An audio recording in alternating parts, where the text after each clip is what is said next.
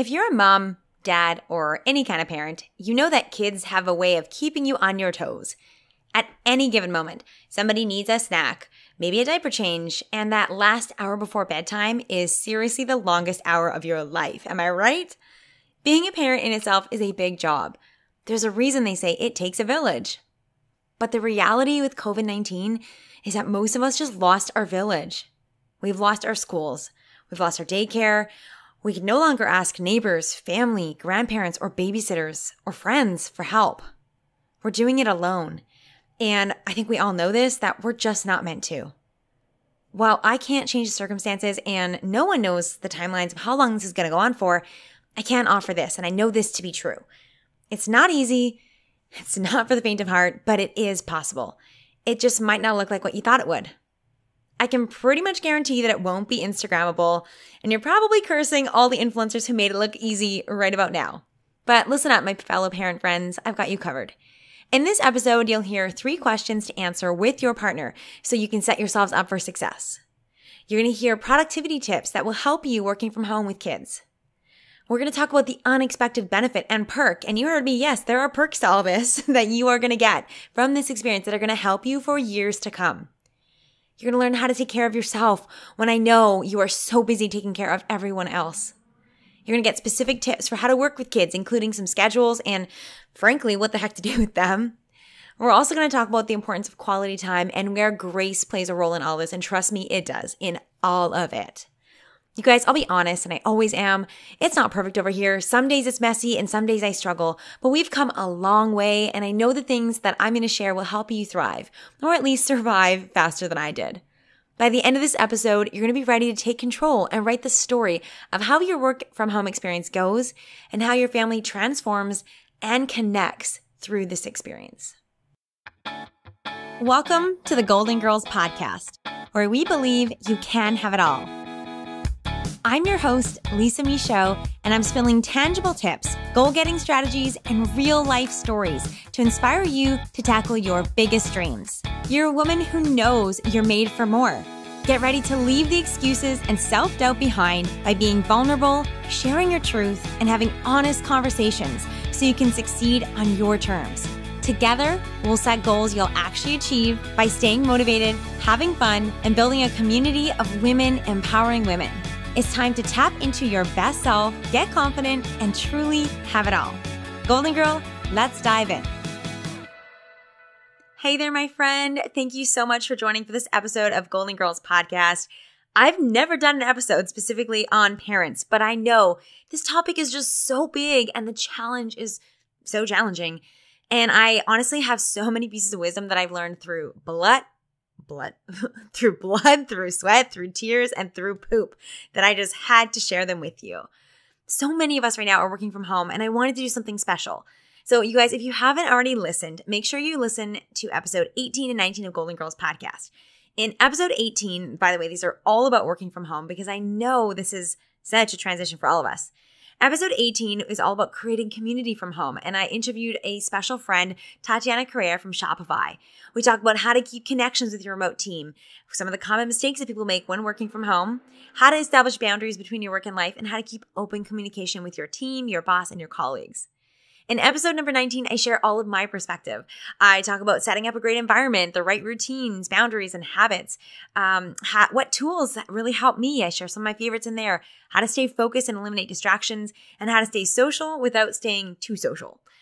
Now, I thought I could squeeze it all into two episodes, but I can't because parenting is real and it's hard and it deserves its own episode or maybe 10. but I'm going to try and squeeze it into one. And if you are parenting while working from home, this, like, you guys are in the right place. I'm so excited for this episode. All right, before I dive in and tell you like all the things, here is just me, the honest truth about me.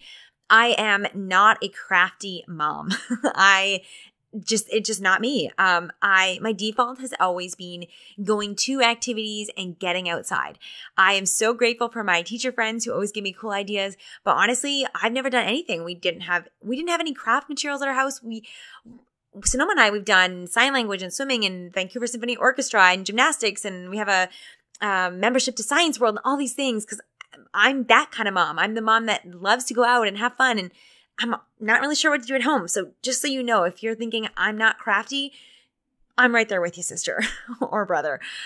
Also, I want to say this. We live in a small space. I do not have the option to just let my kid lo- loose in the yard or in the cul-de-sac.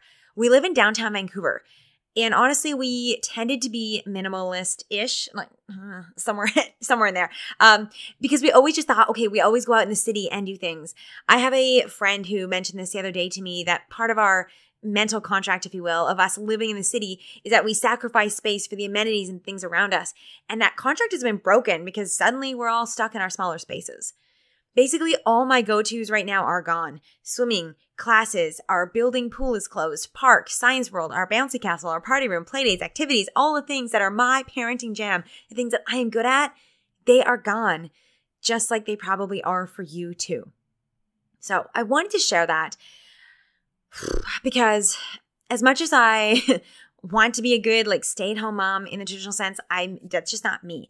And I'm not crafty, so I've had to learn as I go. And I hope that knowing that you will give yourself grace and permission if any of those things resonate with you. If you're in a small space, if your go to routine is thrown out, if you don't have craft supplies and you don't know what you're doing, uh, my hand is up, but you can't see it because I always forget that we're on a podcast. Anyways, all right. So as a parent, you know that kids certainly keep us on our toes and things are always changing.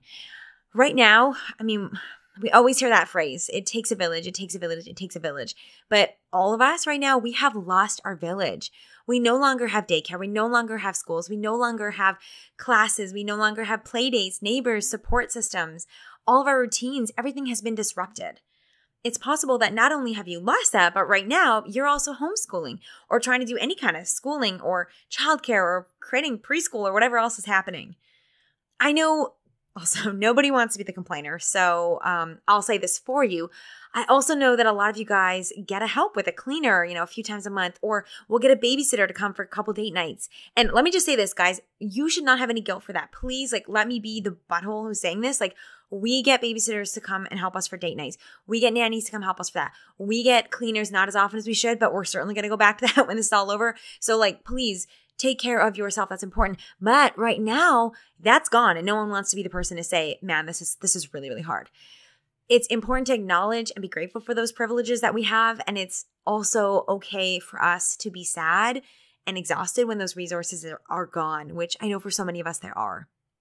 Right now, as I say this, I'm doing it alone. I know you're doing it alone, and we just, just not meant to.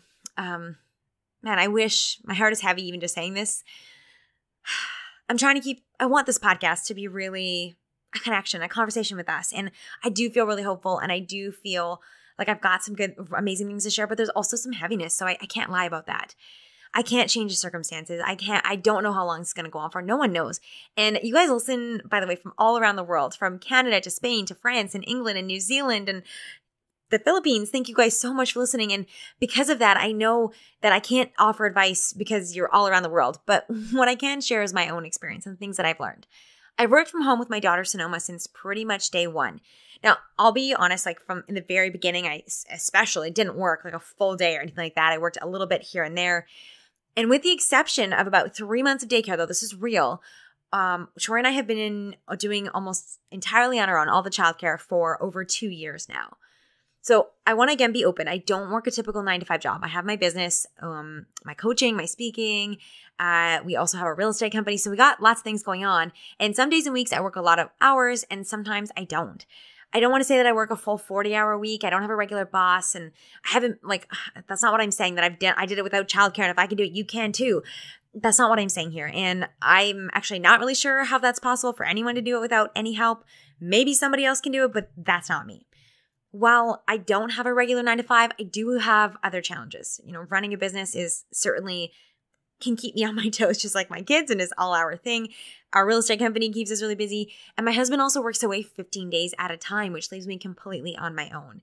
And in the past, we would sometimes have my parents come or my in laws come. But still, like keeping our household running, our finances, our businesses, our family thriving fell 100% on me and falls, I should say, when he's gone. I do know that working with home from working from home with kids is not easy and it also is is possible in different ways.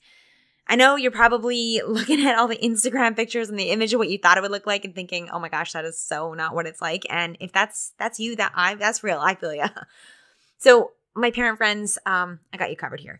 I also want to say, because I know some of you guys are, might be listening with your little people around, I do say the S word in this episode. I do try not to swear on this episode, but I'm going to tell you a really funny story that doesn't have the same effect without the S word. So if you're listening with kids, warn them or maybe hit pause and come back later. The swear does come a little later in the episode, but it's there. And trust me, you guys, the story is really good. You want don't want to miss it. Okay. Before I dive into all the tips, I gotta say something because this is so, so, so important. There is a reason I talk so much about mindset and I'm so unbelievably passionate. People always want to know how do you do it? Give me the tips, give me the strategies, just give me the roadmap and let me get there. And there is a reason I don't rely on strategy. I love strategy. I love planning. Those things are helpful, but mindset matters the most because my mindset to be an awesome mom and my best self still works right now all of our strategies, most of our strategies are gone. Like the outsourcing strategy, having other people do ch- uh, childcare or teaching or cooking or carpooling or teaching, all of that is gone. The strategy of working in an office, that's gone. The strategy of needing time away from our kids and our, our partners to miss them, that's gone. And this is a reality that this is always in life. And that's why I'm so freaking passionate about mindset, you guys. I'm actually like doing a weird dance thing in my chair right now. Um, strategies are going to change always, always, always. We cannot rely on strategies. And that's why your mindset is forever. And so you're going to hear as I share all these things, I want you to really pay attention. I'm going to talk to you about some strategies, but I want you to really pay attention to the mindset behind it all. Here is what I believe and what I want you to believe that doing your best is all that matters that you can figure anything out. That imperfect action trumps inaction every time. That clarity comes from doing and trying, getting up there and getting in there. That life is a marathon and not a sprint. Oh my gosh, I've had to remind myself of that so many times. I want you to remember that you're in charge of your life and your experience. You're not in charge of all the circumstances, but you are in charge of your experience and how you show up for it. It's up to you and up to me for us to make it what we want. We cannot control what happens to us, but we can control how we show up for it. So, my friends, I want you to know all of that and be grounded in that before I share any strategy. Because if I just share strategies and you think, well, that doesn't apply for me or that's different for her and she doesn't understand, then you've missed the point of this episode. What I want you to hear is that your success mindset is what matters. That is your foundation. That you doing your best is what matters. That this is a marathon, not a sprint, and that you cannot control what happens to you, but you can control how you show up. Whew, I want to say just preach it to myself. All right. Now let's also say and get real here. I drafted this episode. I literally started March 18th and I'm recording this, funny enough, uh, April 18th. and you're going to see it's going to take me a few days to actually get this out. And I've had to hire help to get this out to you at a reasonable date because I just don't have the time. So Anyways, my point to telling you that is I don't have a magic wand to make your children suddenly well behaved or give you the 40 hours that you need to get everything you want done in a day as you can see, for me too, things are slower than normal and you're not alone. And so the, here are the things that keep me sane and productive and still loving my work and my family time. Ah, okay, I have one more thing I need to tell you. One more thing I want to tell you. I get the honor of doing a special shout out to Samantha Pinkson, one of our Goalden Girls community members. She shared with me a few months ago now that 2019 was her biggest and best year in her business ever. So she runs Samantha Pinkson Design and Decor. Look them up on Instagram, link in the show notes. She is a truly gifted and such a talented designer. And I wanted to obviously first congratulate her on her success because it's amazing when we are growing in our business. That's something to absolutely celebrate. She also, we had a conversation and she shared with me three things that she found helped her. And I wanted to share them with you too because I just thought it was so inspiring. And I always, I love hearing about other successful people and what helps them get through. And I think that's probably why you're listening to this podcast too. So instead of just hearing it from me, I want you to hear it from Samantha. So she shared three little lessons. So one, she spent last year and learned about and ended up being diagnosed with adult ADHD. ADHD. I want to make sure I said that clearly. So she acknowledges and she says this is a game changer for her and understanding her own learning style she was able to figure out strategies and tools for working with that and she said that changed everything I've had conversations in my DMs with some of you guys and in, in our community too. I know this is something that some of you guys struggle with too. And so I just want to thank Sam and honor her for talking about it so openly and being willing to share her story because I think adult learning disabilities, I think especially in in women, is something that does not go talk to it doesn't get talked about enough. And so if you're out there, if you're listening to this, um, you're not alone. And something that I hope that we get to talk about more because it's real and there's lots of people struggling with it. The second thing Samantha said, and this is, you know, something we can all learn from, she said, What I learned is that where focus flows, energy goes. Last year was the year she really focused on her business at a whole new level. And that's where her success and the money flowed. It was her most successful year in business, but not by accident. Was because she focused on it. She set intention. She worked on her business, and it shows in her results. It was the best out of eight years in her business. I, you guys know I'm, I preach, preach, preach about focus, but she's an example, and I didn't even pay her to say this. She just said this on her own. Okay, last little lesson from Samantha that is so great. Something I believe that any of us can follow in whatever we're doing. For a lot of years, Samantha had this idea about what an interior designer should look like. And she admits this that she used to tone her personality down. She worried about what she looked like showing up to meetings and wanted to look professional and wanted to, you know, quote, look like what an interior designer looked like. Well, last year she changed that. She decided to lean into being authentically her. And she even let her self described heavy tattoos come up to play she was worried at first that she was going to lose clients or that people wouldn't hire her. And the fun and amazing thing is that the opposite has in fact been true. She now attracts more of the right people. Her business is thriving, and her clients who love her are now working with her. There are so many lessons in this for all of us. Always learn more about yourself and don't shy away if you're struggling with mental health or learning disabilities. Guys, focus, focus, focus. Focus is where your magic is. That's where the magic will come and be authentic because that's how you're going to attract those who matter the most. Thank you, Sam, so much for these lessons. And I just want to give you the giant hug over here. Congratulations on all of your success. I've linked to Sam below in our show notes if you want to check out this amazingly talented designer who's also tattooed and yes, works and consults remotely too, so you can catch her from anywhere in the world you're listening to. Go ahead and give her some love below. I love featuring our success stories from Goalden Girls Mastermind and Goalden Girls Community and our listener shoutouts. If you are in our community, we want to celebrate you. So reach out, let me know. I would love to give you a shout out. And if you leave a review for Goalden Girls Podcast, we will give you a shout out too. My business and this podcast only exist because of you. And I love taking the time to celebrate with you, to cheer you on, and to thank you. All right, now we're getting into the meat. I'm sorry, I know that was really long, but I I hope that was all really valuable because there's so much more than just tips and strategies, guys, that I want you to hear. So, here we're going to go into the three questions to talk about with your partner to get you set up for success working from home with kids. I'm going to share productivity tips to help you out. We're going to talk about the unexpected benefit and perk that you're going to get from this experience that is going to help you for years to come. And trust me, I know it doesn't feel like it, but it's there. We'll talk about how to take care of yourself when you're busy taking care of all the uh, other people specific tips for working with kids and what the heck to do with them, the importance of quality time, and how to have grace. So let's dive in and talk about how to make this the best possible experience for everyone. Okay, do you guys hear that? That is my kid crying. So I'm actually going to have to hit pause on this and I'm going to come back and record it a little later. So, in case you're wondering, this is real life. I could not have scripted that. I thought she was going to nap a lot longer than that, but you know what? we just go with it. So um thanks for listening. I'll be back in a bit to finish up this episode. I'm back. I'll be honest. This is the third time I've had to stop and start and stop and start recording this episode. And I feel like that's just perfect way to sum up the experience of working with children. Period. So, in case you're thinking I have some magic wand or that things aren't challenging over here, now you know that they definitely are. And I don't have it all figured out. Um, so here I am back. It is nine o'clock at night, Saturday night, uh, still April 18th, and I'm finishing up recording this episode for you guys. But I really believe in what I'm sharing. And when you really want to get something done, when you love what you're doing, which I am blessed to do, it makes it a whole lot easier. Okay, so let's talk about the first thing to help make your work at home experience with kids a little better.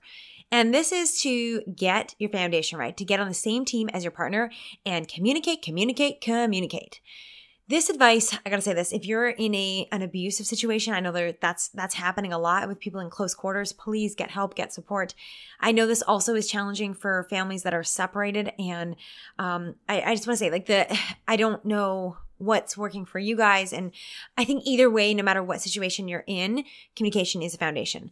In this specific advice here. I'm talking to families for whom sure being in close quarters it is a stressful time uh, there might be financial or health or fears anxiety those things happening but you're otherwise doing well um, so if you're doing well otherwise, and I get that it's harder with kids and it's hard right now, but if you want to make it through working from home and through COVID as a family, this is what you got to do is you got to get on the same team. I got to tell you, I mentioned this in this episode, and some of you guys know this. My husband works away for two weeks and then he's home for two weeks. A lot of people always ask us, How do you guys do it? How do you do it? How do you feel about it? Here's how I feel it's been five years since we started this. When we started, our lives were very different. We were both in full time jobs, living in Fort McMurray. I had a really awesome friend circle, and it was pretty easy. I mean, it definitely took a little bit of adjustment period. I think it, it always does. But overall, like the hardest thing was that I had to figure out how to mow the lawn. Now we have a two year old. We have our real estate company and my business, and we live in downtown Vancouver, and it's just very different. But I always say this. And when people say, How do you do this? I always say it's because we're on the same team. We're doing it for the same reason.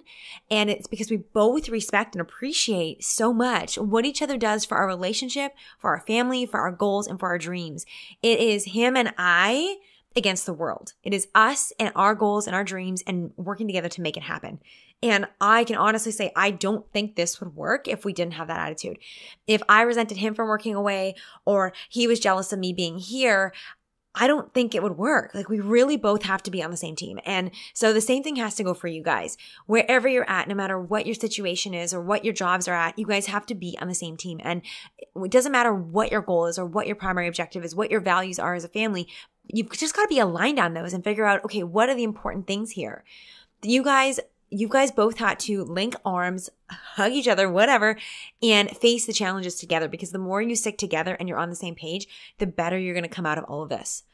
I recommend three questions here to chat through, to talk with each other, and get aligned. So here's the first question. I think it's important to understand what your enough is. And what is that for work? What is that for self care? What is that for finances, for parenting? what is your enough? What is your baseline as a couple, as a family, as a relationship? This is something I think is so good to talk to your partner and maybe even with your children too. You know, what is enough for them as far as the housework that they're doing around the house or the time that they need from you or the homework that you expect out of them or whatever's happening this enough is going to depend on what your finances are, your goals are, your values, your employer, the age of your child, or how many children you have, any special needs, the support that you have. I know some some people do have nannies available. Some people do have grandparents or aunts nearby. I don't know why I just said aunts. It makes me sound fancy, I guess.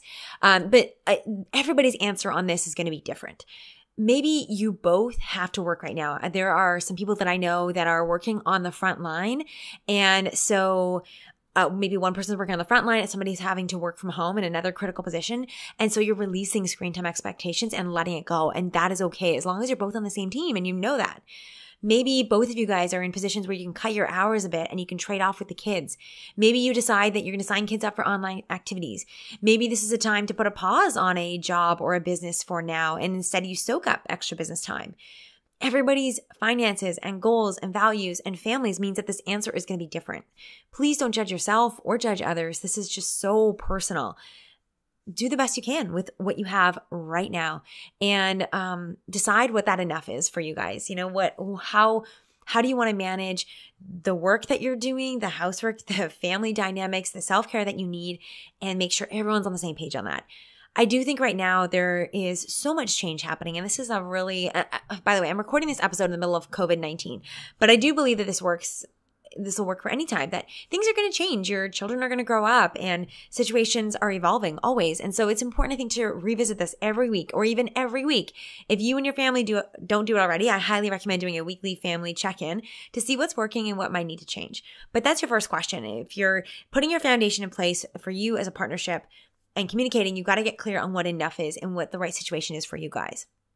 For Troy and I, just so you have an, a sense of this, when Troy's away, uh, especially with no childcare, I will do work as much as I can during nap times and maybe in the mornings and the evenings. But and this is something that I I want to do this. I do it. Troy's always like, just don't work, just worry about the kid. But I love what I do, so it's hard to hard to do that.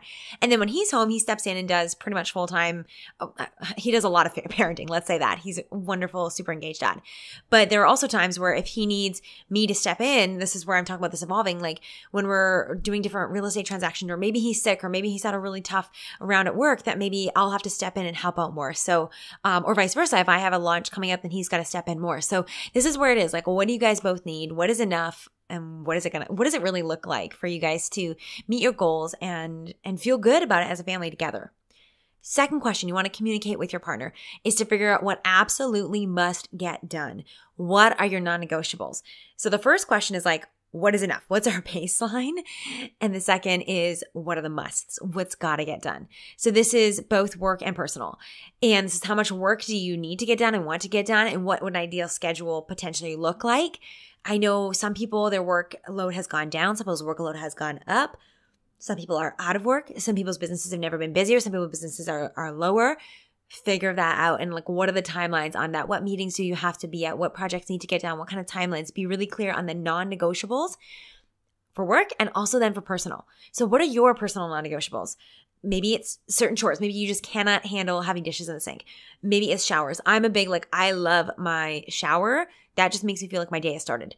Um and whatever might be non-negotiable to you might also be flexible but just know what it is for you and your kids and get clear on that and then basically be flexible on everything else.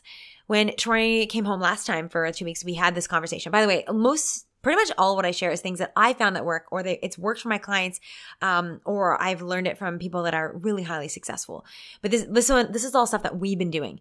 So this one is, um, so we, Troy came home, we had the conversation. It was like, well, what is your non-negotiable and what is my non-negotiable? And mine was I need a workout every morning and a shower. And his was he needs me to put my phone away and have quality time with someone when I'm not working. He's a pretty great dad. Um, and I have a hard time with putting my phone away full transparency. So before we, that was, that was really important. And then we also did this before he left. So it's also talked about how we could support and honor each other while we were away. And I asked him to check in on me and check in on my anxiety and help me relax the crazy pressure I put on myself. Like I just said, I, I definitely do that. Um, and also I asked him to let me order pre-made meals. so, um, that was, those are the kind of conversations that we're having. It's just a, like, I can't say it enough. Communicate, communicate, communicate. When you're on the same team, it makes this stuff a lot easier. Um, cause I get it. It's hard. It's stressful. And the third question, those ones are kind of like your, your foundation and then your must haves and the things you're just going to let go of. This third question to chat about with you got, with you and your partner, your family is what's the experience you want to have. What what is the story you're writing of this time? And this time could be COVID-19. This time could be as you're building a business and you have young children or as you're out of work down the road or you've had another child, you've lost childcare like we have multiple times or um, whatever that is. But remember, it's everything that what really matters here is how you frame it in your mind and in your kids' mind because that's how they're going to remember it and that's how you're going to remember it even if you do have to work a lot, there's ways to frame it in a really positive experience. Like communicate with your kids that what you did, what was important, that you still had dinners together, that you spent an half an hour outside together, whatever you could. It's really important for you to just be intentional here. It's not about perfect. It's not about saying we never got mad at each other. We spent every minute together in perfect heaven. Like sometimes it's hard. I recently went to an event and I heard the founder of a company called Pudus, and I'm actually wearing my Pudus right now. If you've never checked them out, they're amazing slipper socks. So good. Um, anyways, I heard her talk about the experience. Um, she's a local entrepreneur and a mom, and she talked about the experience of her Pudus getting onto Oprah's favorite things. How cool. Amazing. And also how the six weeks leading up to Christmas was crazy and she had to pull her family in. And basically they were working from like six in the morning till 10 or 11 or 12 at nighttime. And the kids were helping and everyone in the, and the neighbors and everyone was in it. And it was a crazy time. And what I took away from that story was uh, obviously very cool. What an amazing entrepreneurial story. And I'm so proud to have gotten to meet her and love her products. Pudus, check them out. And also what I heard was she could have told that story in a way that was like, oh my gosh, it was, it was so hard to build this business. What a struggle. We've had to sacrifice so much stuff and we haven't been with our, we weren't with our kids and, and our kids missed out on all these things. But instead, the way she described it, and I'm sure the way her kids will remember it because of the way she framed it and was probably very intentional about this, was like, it was a family thing. They built it together. They had this cool experience together. And yeah, they were tired and yeah, they ordered it in a lot of pizza. Um, but it was a really special time. And so I just want you to consider that. Like, what is the experience you want to have and what's the story you're writing? Because every day you're writing the story. And, um, I just, I want to thank, uh, thank that.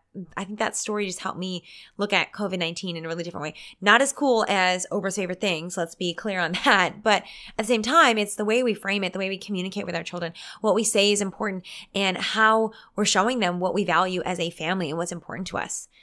Consider eh, with all of this stuff, guys, consider what's going to work best for you and communicate with your partner. And remember, you're on the same team. Even if one of you snores a little too much or chews too loud, whatever that is, or doesn't know how to put their socks away, communicate, communicate, communicate. Check in daily or midday if you have to. Remember this, you guys. And I, man, I'm going to talk about grace. So, like, it's coming. but re- your family is looking to you as a role model. And that doesn't mean you have to be perfect. Like, heck no. But it means that you are capable of more than you think. It means you are capable of more grace, of love, of compassion, of leadership, teamwork, and focus than you think. You are capable of all of that. All right. Number two, it is possible to make it work. Absolutely but it is not possible to do it all with children. That's just not a thing. Children are like a full time job in themselves and then some, and then a household. So here are a few productivity tips that I find help to at least have a little bit of productivity. Know your personality and your work style and your kids' personalities and work as much as you can to match those things. The ages and personalities of our kids are going to vary widely. Some kids might nap, you know, six or eight hours a day, like the newborns, they're sleeping all the time. I wish I'd taken advantage, side note. Um, and others might not nap at all.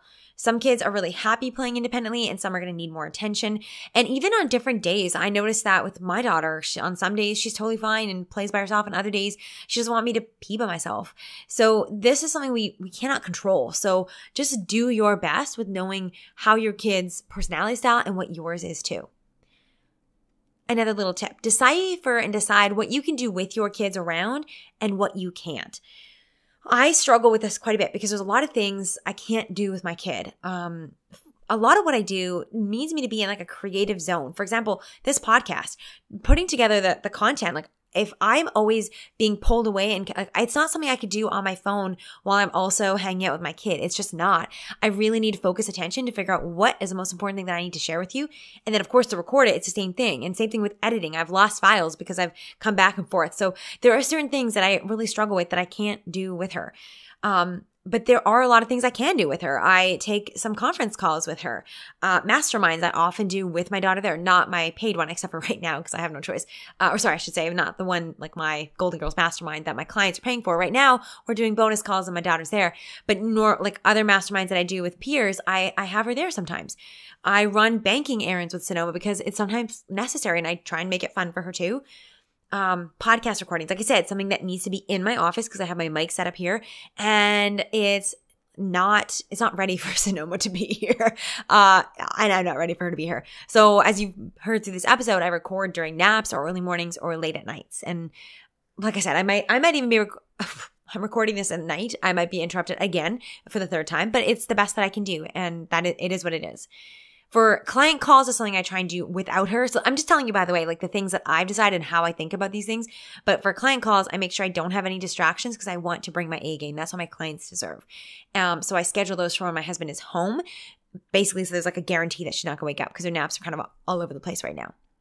So there's also been some messes in this. It's has not has not been perfect because I do bring my daughter to certain things. She's she's there. She pooped on me in a mastermind call. So that was fun. Um, and on another live video, she whipped off her diaper and flashed our entire Goalden Girls community.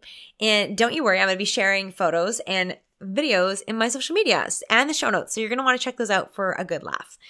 I think right now, more than ever, it, everybody's in the same boat. And so we have to just figure out what's the easiest things we can do with our kids and what can we not. when you're doing the work, here's another little productivity tip. Shut down all other distractions. Can we just agree that kids are distracting enough? Like they literally don't even let you go to the bathroom by yourself. So put your phone away, turn off your email notifications, turn the TV off if you can, like get into another room, go somewhere separate if, you, if your kids are older. As many distractions as possible, turn them all off before you get the work you get to work set your kids up and prep them and like communicate with them. Let them know what is happening. Get them food. One of the things that i'm doing right now is pre-cutting and pre-washing veggies and fruit and crackers and having those things ready to go. Give them a little bit of a snack. Give them some water help them go to the washroom put on a fresh diaper like all of those kind of foundational things and then the other thing I do is I give her at least a couple activities. I don't put them all on at once, but I have them in my mind or have them prepared to easily give to her. So um, maybe it's that she's going to do a music class on, or she loves cosmic yoga or she loves dancing. So I might turn on a video. Or if I'm desperate, I'm like, okay, Peppa Pig it is. I will have a puzzle ready to go I'll, or a matching game. I'll have coloring ready, but like have a few things, potential activities that you can easily redirect with your children so that you can get as much focus time as possible a cool idea that I've heard that I did a little bit of actually is um, to make your kids a little office in your space too. So set up a desk, give them some paper, a pen, or let them color. Uh, depending on their age, you can give them a scissors, maybe give them post-it notes depending on your tolerance for that. But that's uh, I did that a little bit. Funny enough, I put Sonoma. I brought her a little chair, and I have her slide in my office right now, and I let her like write um, using the top of the slide as a little desk. You can even use an old laptop, which we've done a few days, and I give her an, a keyboard sometimes to like let her feel like she's a little adult. And that gives me sometimes about 15 minutes to, if I need to fire off an email or do something that's, that's, I, it's way better for me to do on my laptop because it's way faster. Um, and it keeps her excited and engaged. Uh, productivity tip, another one, work in small sprints. Uh, ideally, we want to do like 50 minute sprints, not always pop- possible with young children. So what can you do in 20 minutes? What can you do in 10? Just break it down, set a timer and set an intention of what you're going to do and do your best to get it done that even though my daughter is only two right now, I still let her know what's going on and I try and talk to her and include her. Um, just let her know, you know, mama's got some work to do. Uh, something that I've been trying to do is put all my meetings as much as possible on one day. So, or two days a week. So that, that those are the days that I'm getting the work done and I release the guilt for the screen time or all that. And then on the other days, I do something fun with her and we get out of the house or we, we're watching, um, and dancing together or we're playing with sand or we're doing things that are just feel good together. But I, that I find has helped me to not feel like I'm constantly working and also feels like I'm giving her quality time. But on the days when I'm working, like there's several hours where I'm not necessarily interacting with her as much as I would love to. I'm definitely releasing screen time guilt. If it is working for her, it is working for me.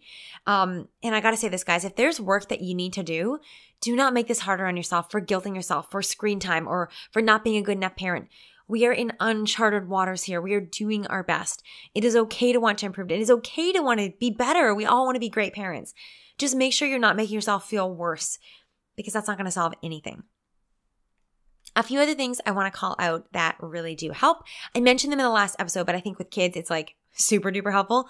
Headphones, headphones, headphone, headphone, or music. Um, if I'm listening to pop up music, I might even turn on the black Bluetooth speakers and let Sonoma dance here. And when she, I really need to focus on something, I'll put a headphone in.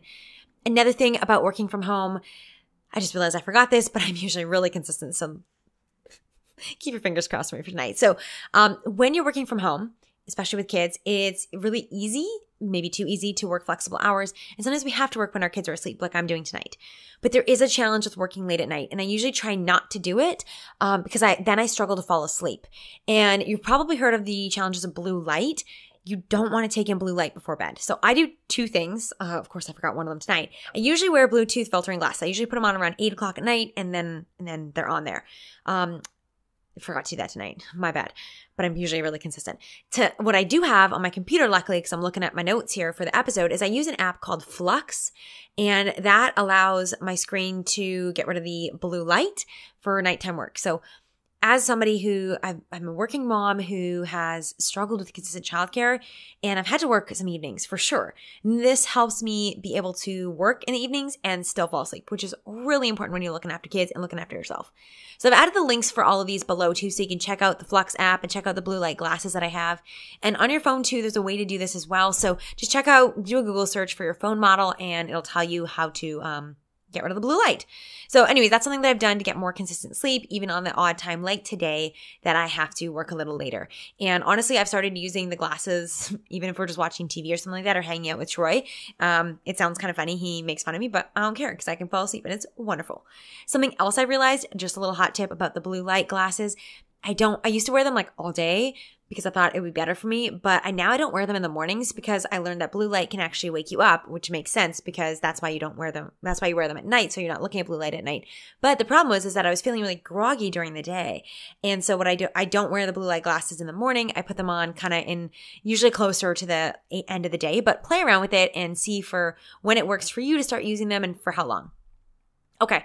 Now, that's a little bit of productivity tips. Stay tuned because in my number six tip, I'm going to share with you a fun little hack that I found for keeping Sonoma entertained while I work. And it works for me, even though I'm not a super creative or like crafty, teachery type. Um, I'm, I'm, not used to doing things like this with my kids. So, um, yeah, stay tuned. That's a really, I've got a fun little tip that I'm super excited to share with you. Okay. Number three about working from home right now with your kid. This is actually going to be an incredible incredible gift. This is going to be an experiment for you in what is actually important. This is going to serve you for years to come. Let's just be real for a minute here. Most people, okay, we may go to work to, for eight hours or go to work for 10 hours, but most of us don't actually do work for that long. Time studies prove this over and over and over again. Most people work a lot less than they think that they do. And most of the stuff, a lot of the stuff that we do isn't necessarily stuff we have to do. This is something I learned the hard way. I learned, I mean, I knew this principle from being in corporate and from being in a role called continuous improvement where we focused on this kind of thing. But even in, in my life, my business, I before we got childcare and then before we lost it and then got it and then lost it again. That's a whole other story for a whole other podcast. But my I kept saying, well, as soon as we get childcare, I'm going to be so much more productive. As soon as we get childcare, I'm going to make, I'm going to do this thing. I'm going to make more money. I'm going to have more time. I'm going to see my friends again. I'm going to exercise, whatever these, the, all these things. I'm going to do all the things. And we had childcare for about three or four months. And honestly, I made no extra revenue. And more time just meant I felt my days with more time. I found myself still being exhausted, still being stressed, and still not doing all the good things. And I share my lessons from that experience on podcast, Goalden Girls podcast, episode number seven, eight, and nine, all about time management. So if you want to hear more about that, go back and listen to those because they're really good if I say so myself. um, but here's what you can distill from this experience right now is that I find working from home with kids forces you to be more productive. You cannot do like a 40 or 50 or 60 hour week. And so you got to figure out what is really essential. And this is the time to be hyper focused on what matters. And you're probably going to find that the Pareto principle, the 80 20 rule, that 20% of things that you do gives you 80% of the results that's where you're going to figure out what are those 20% of things and how can you double down on that and start to release and forget the other things. I really believe, guys, that this is going to be a gift from COVID 19.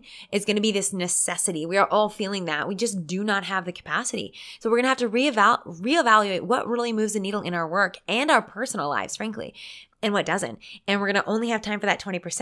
And I feel like in our minds, we think, okay, well, if I'm only working 20%, or then, you know, I'm going to lose 80% of what I'm doing.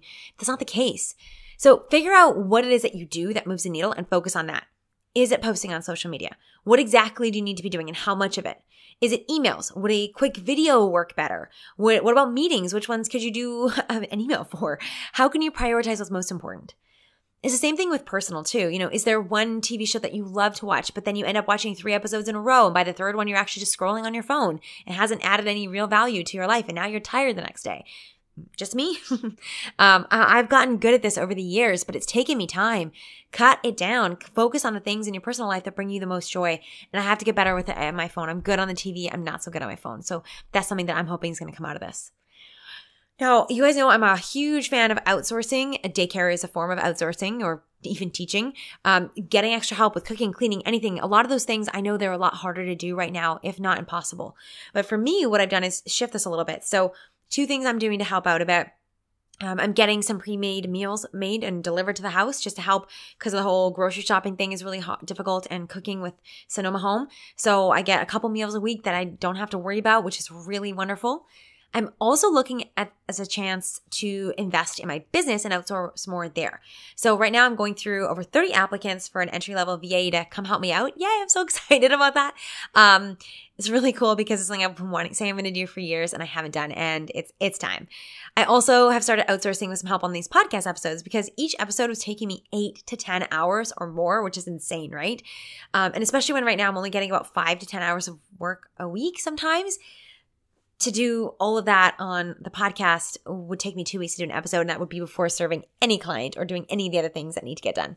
So while I while I do love this podcast, I still love it so much. It's not a big revenue stream stream for me right now. So my first priority is my customers, my Goalden Girls Mastermind, Goalden Girls community, and my speaking clients. So I'm outsourcing some of the other things to I can so I can just focus on my magic, which is where the best use of my time is going to be. And I really believe that this is my story, this is my business, this is my example here. But I believe for all of us, we're going to figure out like what are the things that we really need to be doing and what are the things that someone else could be doing and what are the things that don't need to happen at all. All right, number four, take care of yourself. Seriously, and make it quality downtime. This cannot be understated. I know it feels like you don't have time because you're just exhausted. Trust me, I know that feeling. My friend Matt Corker always says, if you're exhausted, you give out exhaust. And that's so true. If we are exhausted, we just, I can literally just like imagine the put, put, put, put, put of an engine. And that's what we're spitting into the faces of everyone we love and all the people in our lives. And that's not what any of us really want. So here's what I found works for me, even though I'm solo parenting and running a business and trying to be a great mom as much as I can. This isn't going to work for everyone, but uh, it has worked for me. And even though I'm not a morning person, hear me out here. So I have started to get up earlier. What I find happens, and I think this happens with a lot of people, and I know some of you guys are going to nod your head when I say this, but at the end of the day, you're exhausted, right? And you still, you crave some you time. So instead of going to bed right away, you're like, okay, I'm just to scroll on my phone or you zone out on Netflix and then you can't sleep right? Yeah. No, not not just me. Not yeah. Okay. I know it's an internet meme for a reason because so many of us feel this way. We're like exhausted, but that by the end of the day, we're like, I just I can't even go to sleep because I haven't had any time for myself. But here's the thing: we both we we all know that the the zoning out on Netflix, the scrolling on your phone, or struggling to fall asleep, like that's not quality downtime. That's not the kind that you're like, oh my gosh, I'm so glad I did that this week, or I'm so unless it's a show that you really love. But I'm talking about like zoning out on Netflix, or even or even trying to read a book and trying to reread the same page 50 times because you're just not absorbing it, right? We know the difference between quality downtime and junk downtime, right? That, that's what I'm to call it. Quality versus junk downtime. So for me, I have flipped this around. So I get up an hour or two before Sonoma and that is my me time. And I also, with again, with the exception of tonight and last night, I pretty much go to bed right after my kid does or very shortly after. Because what I found happen is that um, when I'm getting her ready for bed, apparently her the nighttime routine really works on mommy too because I feel really tired. And so what it does is I feel like I, I wind down. And so me going to bed and I'm able to sh- fall asleep very shortly afterwards. then I can wake up early and get going on my day. Otherwise, what I find happens, and it's tonight wasn't so bad, but we'll find out if I'm still tossing and turning at midnight. What I find happens is I wind down as I'm getting Sonoma ready for bed and then I have to wind myself back up to work to get my mind going, and then I have to wind myself, and I have to do the work, and then I have to wind myself right back down, and that takes like literally hours, hours. So instead of going to bed at like between nine and ten, I'm not going to bed till like midnight or one or two or three in the morning and then trying to get up the next day with a kid. It doesn't work. So for me, this is what I've done is I flip that script and I allow the wind down I do with my daughter to be the wind down I do for myself too. Again, with the exception tonight. um, but that's, that's been working so well for me. And I am not a morning person, but I love my me mornings.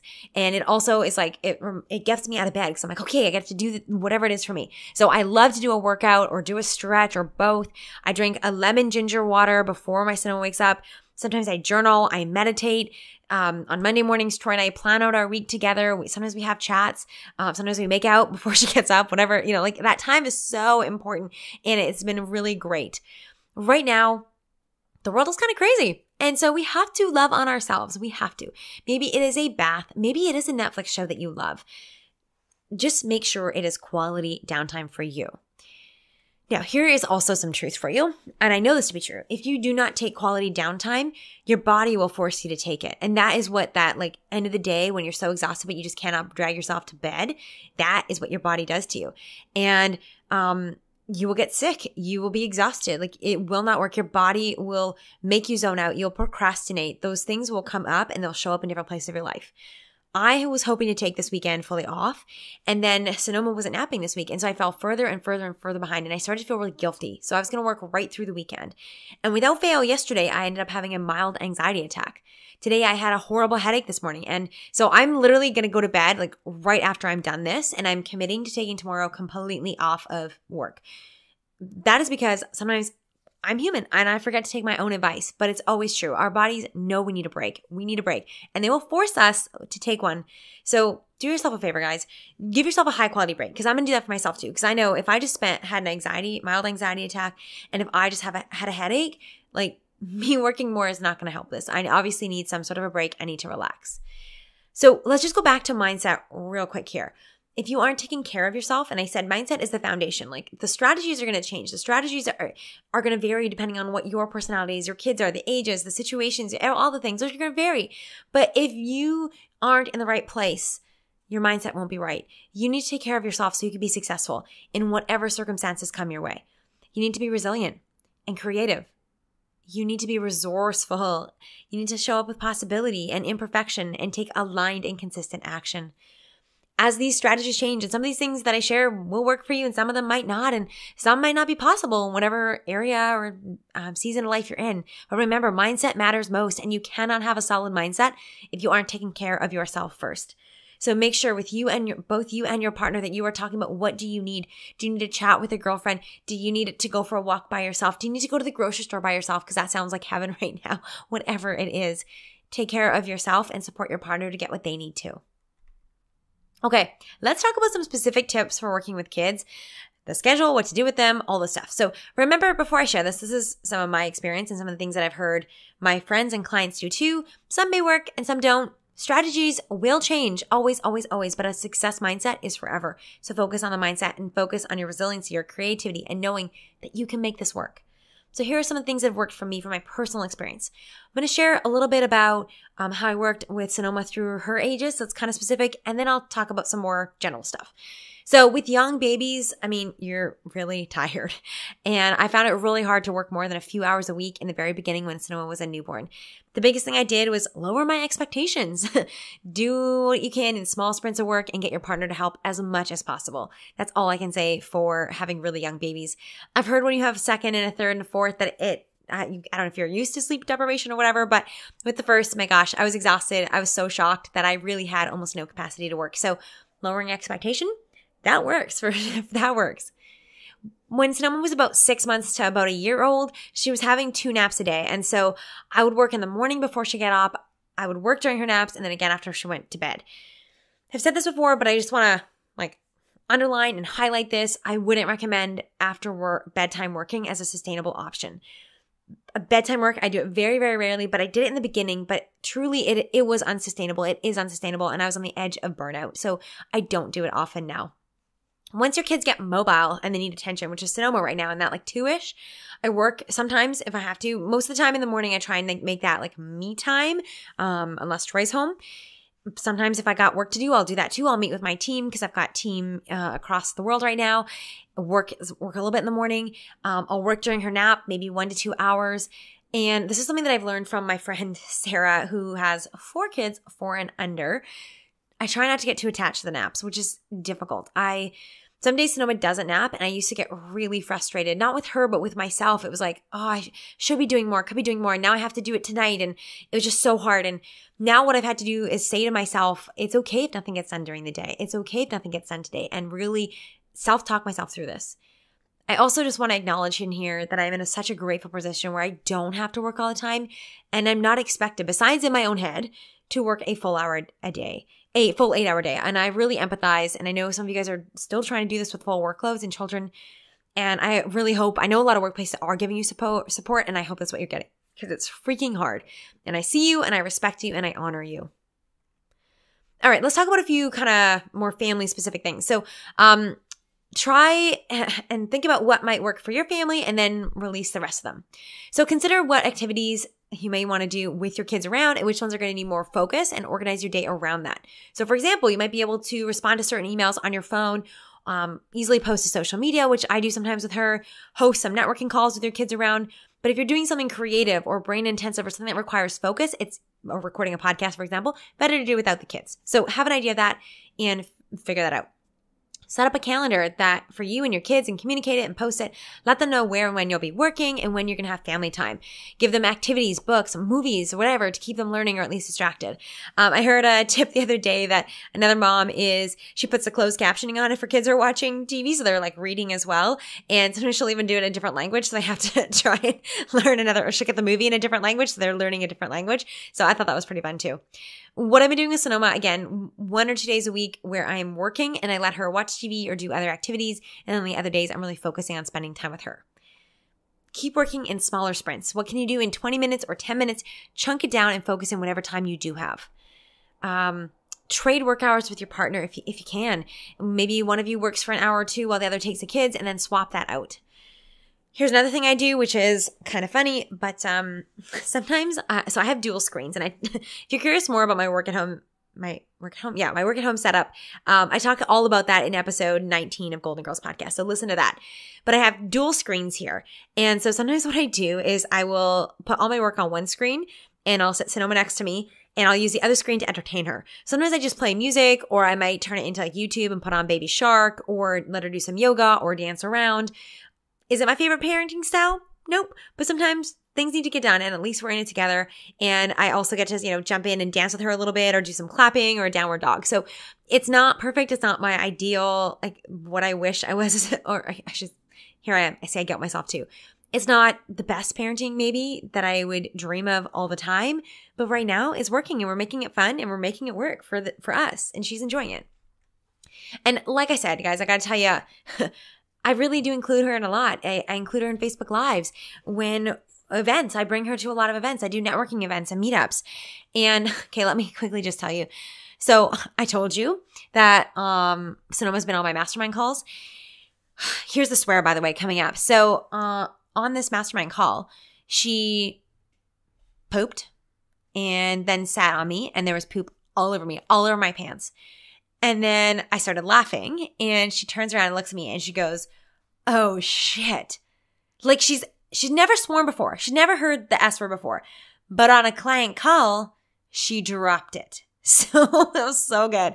I'm so lucky that I have the best clients. Like, oh, funny enough, uh, with the same clients, uh, last week, just last week, she came out to my office and, um, somehow pooped down the stairs. Like we have a lot of poop issues right now. I don't know if anyone else can relate to this. And I got to tell you, I may or may not have a recorded video of the oh shit moment and may or may not have uploaded it into the show notes for you to have a laugh. So make sure you check that out. I think you're going to love it. Okay, no more swearing. I know there's kids here. Maybe.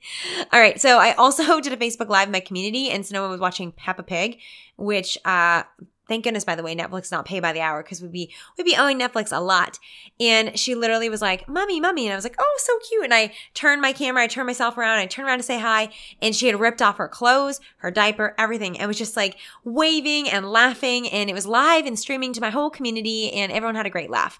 So this is to say, guys, that it's not all perfect, and not maybe other people aren't into it, but in this season of my life, um, and I say this by the way, in my season of my life, like not COVID, I mean of being a mom with young kids, and I love including her.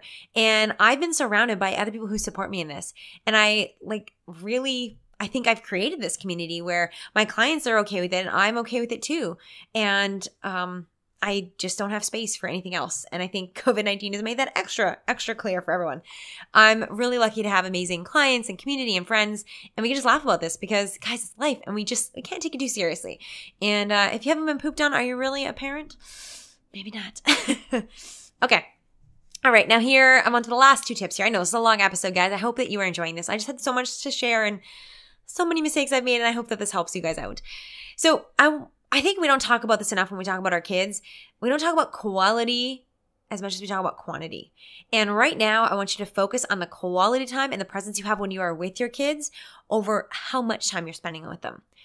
Did you know that this is a fact, by this time studies have shown this. Full-time working mothers today spend more time, more quality time with their children than full-time stay-at-home moms did in the 50s. Chances are, if you are working or even doing housework, you are guilting yourself for not doing enough. And if that stat doesn't make you feel better, then think about this too. Let's be honest. If somebody said plank for two minutes, it would feel like two hours. And a long phone call with a great friend or a nap that maybe is two hours long, it goes by in a flash time is not linear, right? It's not a straight magic minute for value exchange. How you spend that time and the quality of it matters. And so your kids are the same. They don't care if you spent two hours with them or if you spent 10 minutes with them. What matters is that you were there, that you had fun with them, that they laughed, that you made a memory. So here are a couple of tips. And I'm working on getting better at this all the time because I really struggle with this overachiever in me. So here's some things that have helped me. So I commit to every day making a memory. So doing something fun with her. It doesn't have to be big. It might just be a throwing on a, a couple songs and doing a dance party. It might be bath time and putting my phone away and doing bubbles. It might be a swim, not right now in our pool, but you know, a walk. And this is a, this is a must. And as I wrote out these notes, there was a load of dishwashers in the sink and laundry to be done, but we had blown bubbles. We'd played hopscotch, we danced, and we had a bath. And it was like, it was such a fun day. And it brings tears to my eyes just thinking about this because that is what matters. That is important. Some other tips to be really present and focus on quality time. If you haven't already heard this, like release the pressure to have a perfect home. But this is hard, but you literally could spend your entire life cleaning up after children. And this is, it becomes especially hard when you're working from home. Decide what your enough is. I try and do about 20 to 30 minutes a day, maybe once or twice a day, depending on what's going on. Sometimes I have to do dishes and cooking and things like that. Um, and I'll often try and do that maybe at nighttime as I'm winding down too, or early in the morning, and I'll turn on a course or an audiobook or a podcast. So it's kind of me time too. But my house is not perfect and there's probably still sand downstairs, but that means that we went to the beach and I'm so happy for that memory and I would not trade it for unsandy floors any day. This one's a little embarrassing, um, but I gotta say it. Sometimes it is a habit for me to reach for my phone. Maybe you can relate to this. I'm still working on it. But I find that setting limits away from my phone helps. So I will set a timer, 20 minutes, 45 minutes, whatever it is, and put my phone away and set that timer and be like, I'm not gonna touch it till that timer goes off. And it's a fun little challenge and just reminds me that um, I don't need my phone. I really don't. Nothing's nothing's going wrong. Uh, the last thing I want to say here is to include your kids wherever you can. And I talked about it with work, but it can also be, you know, your workout. And yeah, it's not perfect, but maybe it can be, maybe it can be still be fun. Can you do yoga together? Do some of the kids' yogas and still get your stretch in. Maybe you listen to meditation music, maybe, and you play some instruments or you snuggle together or do conference calls while you're snuggling. We, we did that today. Include your kids where it makes sense and where it feels good too. So far in the last couple weeks, we've done piano meditations, we've done dance parties, we've done music classes, gymnastic classes, and some workouts, and it's not perfect. This is about learning to dance in the rain instead of trying to control the weather, right?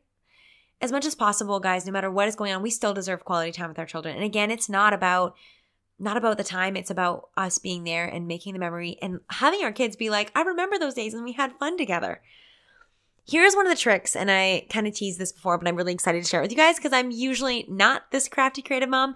But here's something that I did, and I think it's really fun. So I did not want a super strict schedule because it just doesn't work for our life. But I did want to have ideas and I didn't always want to be scrambling for things to do with Sonoma. So what I did is I created three separate jars and I researched activities to fill the jars. So the three jars are this. They're things to do when it's raining outside or cold outside things we do together when it's sunny, and things we do while mom and dad are working.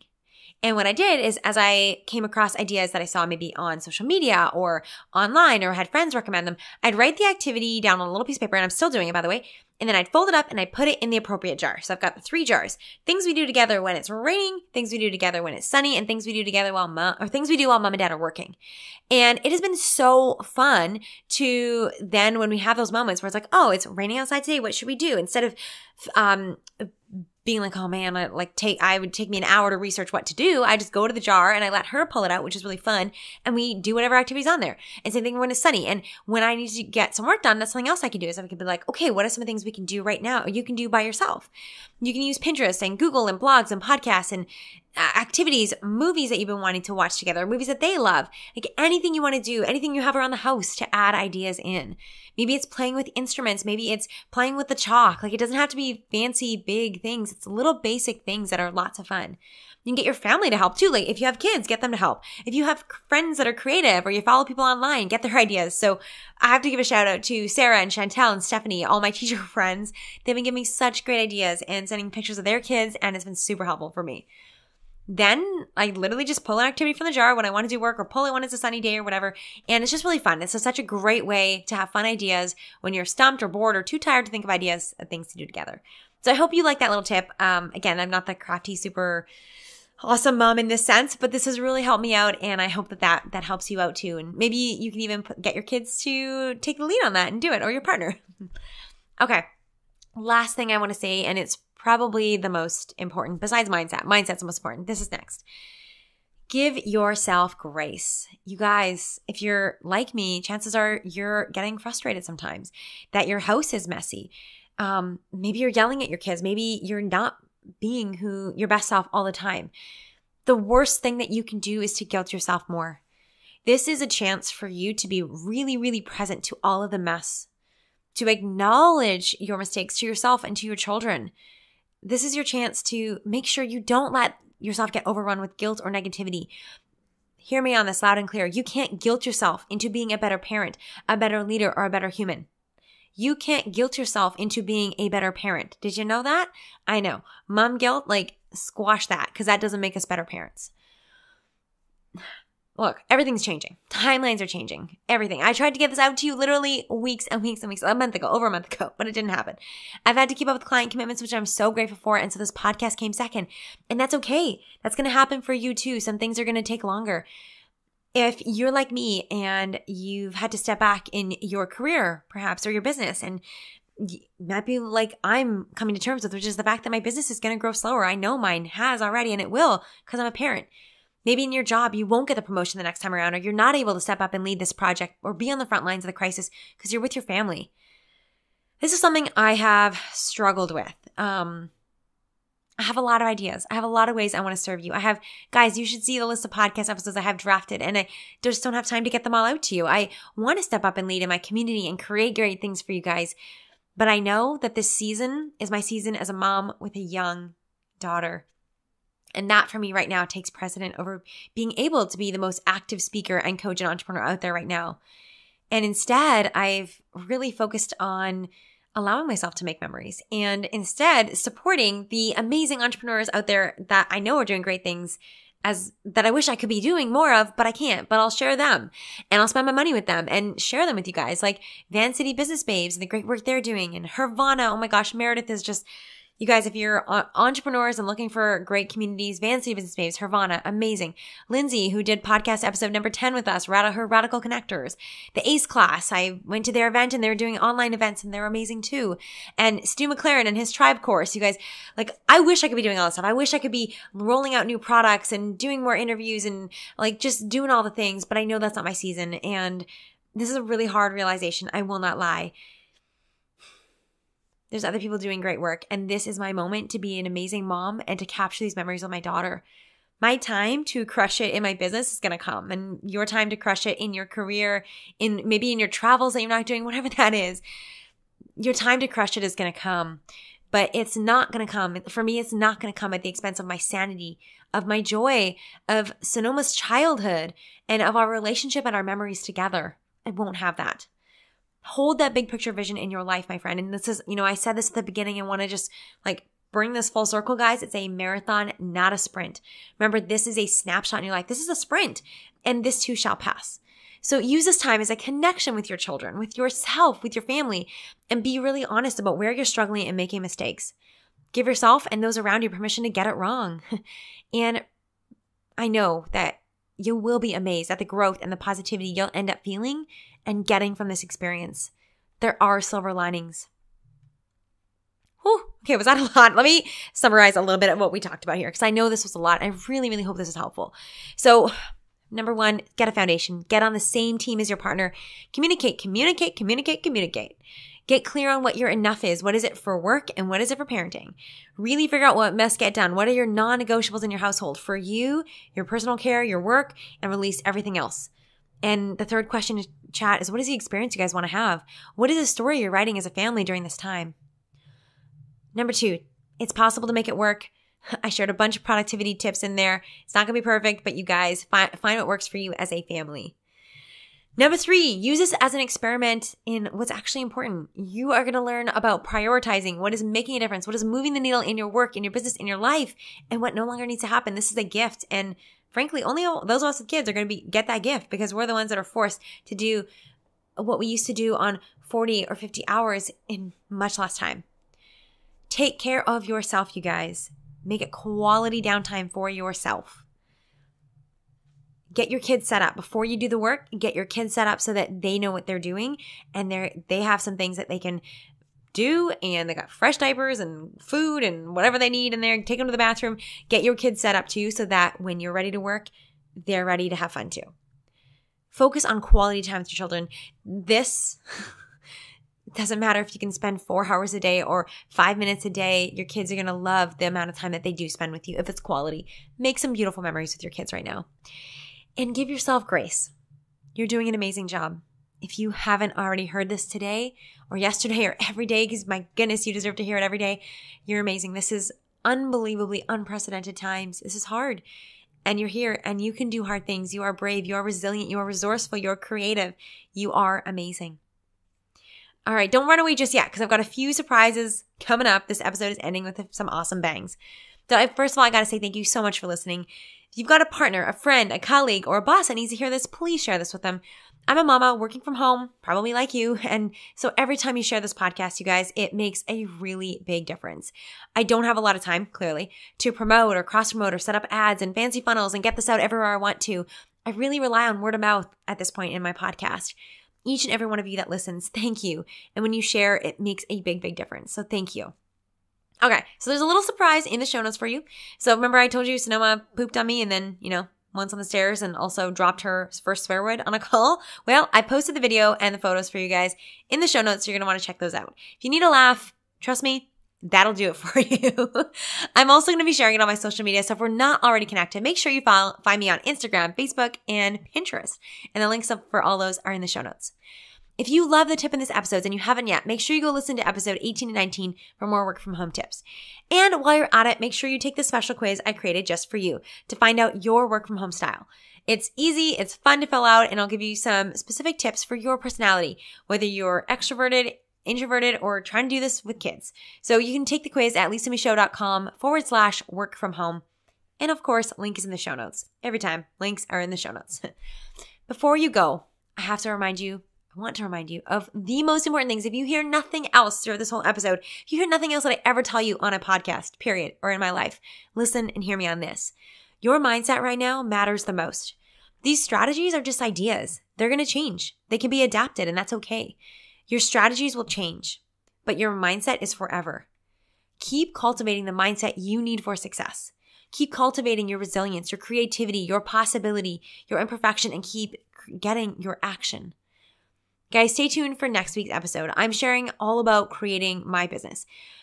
It's been four years and I've learned a lot. I made a lot of mistakes. Um, so, and everything in between, guys. So I'm sharing how I grew my business, a little bit of what I did, and some of the things that I wish I knew four years ago when I started my business.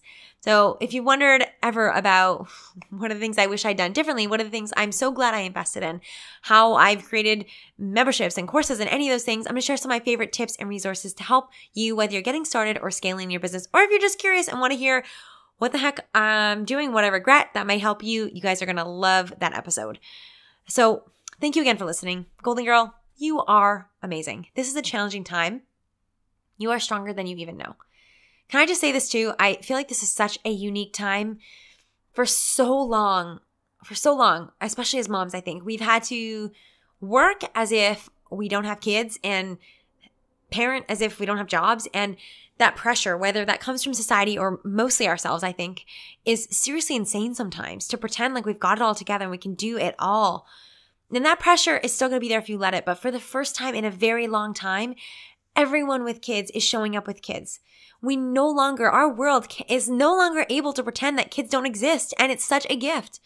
Even my husband, who has had work calls and he works in the energy industry where it's a lot of, a lot of men, even the men in the room are taking time to say hello to the kids. And I just think there's such a gift in this too. I want, this is one of my like deep, deep desires. I want to live in a world where our children are integrated into our work life and we welcome children. This is a topic for another day about how we are limited as women because sometimes we can't include our kids. And I'm certainly not saying this pandemic is fixing this because I know it's making things a lot worse in a lot of cases for women. But I do think that there's a gift in seeing kids at work. And I, I hope that's one of the lasting impacts of all of this. That we get used to seeing children because they freaking exist and they're awesome and they're hilarious and it's normal and it takes a village. So as for you, my hope for you is this. My hope is that you take this time to communicate and strengthen your relationship with your partner and your family. That you show up with intention for what you want this experience to be. That you come out of this with a new lens on what's truly important and some new productivity tips to help make it happen. But most of all, that you just stop doing things that you don't need to do anymore. I hope you realize that self care is not optional and it's not only about the spa. That now more than ever, it matters that everything comes from you and you need to feel good to do good and be good in this world. I hope that what comes out of this, and probably after some tears and frustrations and breakdowns and all of the things, that through this challenge that you become stronger. Because sometimes, just like muscles, just like working out, sometimes we need to break down and tear apart a bit so that we can rebuild stronger than ever. And when you do, I know you're going to be ready for more fun, for more presence, for more connection, and more grace. Thank you so much for listening. If something spoke to you, send me a message by sharing this episode and tagging me on social media. If you know someone who would love to hear this episode, please share it with them too. Because I love surprises, make sure you subscribe to the Goalden Girls podcast today. It's the only way to find out about bonus surprise episodes and make sure you don't miss a single beat on your golden journey. Thanks again for listening, and I will talk to you in the next episode of the Goalden Girls podcast.